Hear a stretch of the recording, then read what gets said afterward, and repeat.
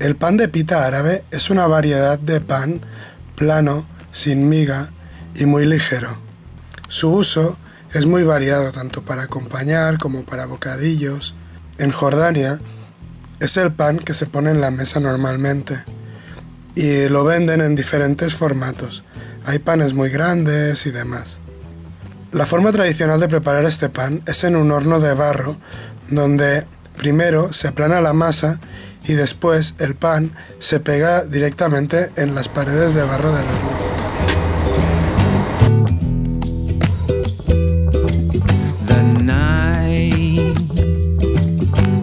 Them out of the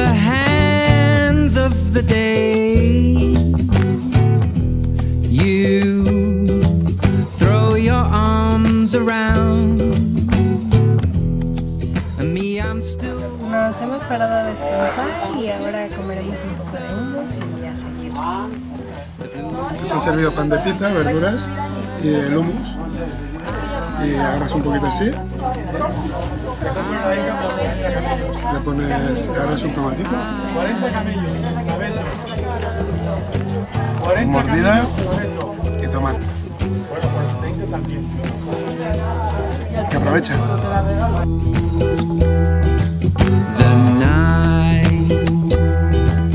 fans a naked flame